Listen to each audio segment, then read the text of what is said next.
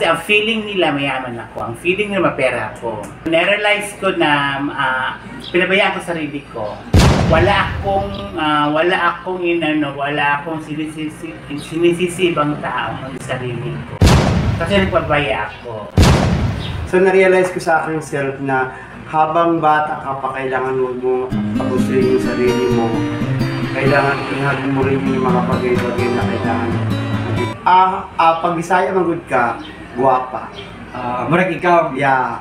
Excuse me sa. Pero dili tanang Bisaya guwapa. Excuse me sa.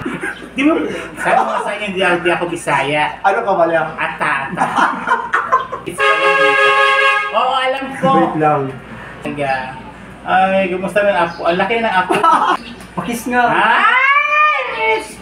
Mark my word, that is realize. Yes, realize mo yan. Realize. Realize. Napagkamalan ko nga sa si Brenda. Ba't ayaw mo kasi sabihin na ex ka ni Gwen sa climber?